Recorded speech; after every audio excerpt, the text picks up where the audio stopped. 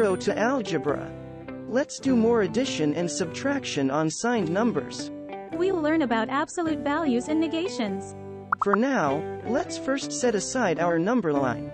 So, what does absolute value mean? The dictionary defines absolute value as the magnitude of a real number without regard to its sign. Say, what again? Let's take back our number line for a bit.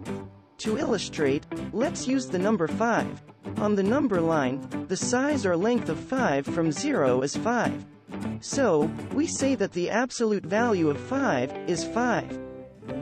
To indicate that we are getting the absolute value of a number, that number is in between two vertical bars. Next, let's look at negative 5. The arrow length from 0 on the number line for negative 5 is 5. So, we then say that the absolute value of negative 5 is 5. Simply put, we can say that the absolute value of a number is its positive version. Right? And so, now we know that the absolute value of 0 is 0. The absolute value of positive or negative 6 is 6. The absolute value of positive or negative 1 half is 1 half. Cool, right? You now know the concept of absolute values. And that, my friend, is a goal.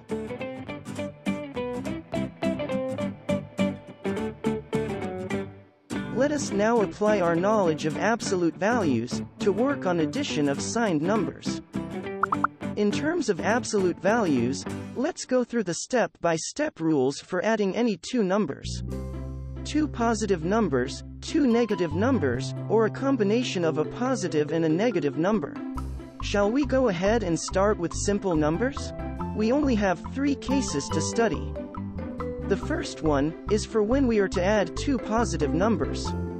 That is, positive plus positive. For this case, we just add as usual.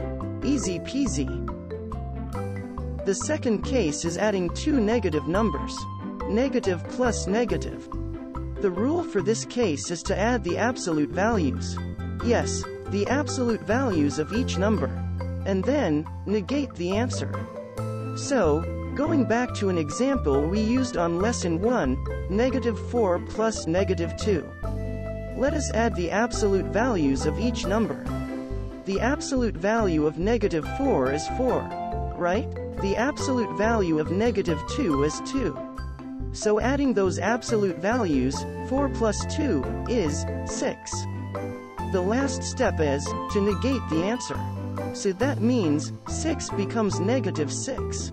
And that, we know negative 6 is the answer to negative 4 plus negative 2. The third and last of our case is adding positive and negative together.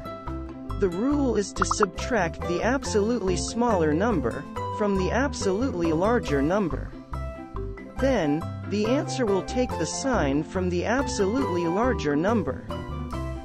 Again, using a simple example, 4 plus negative 6.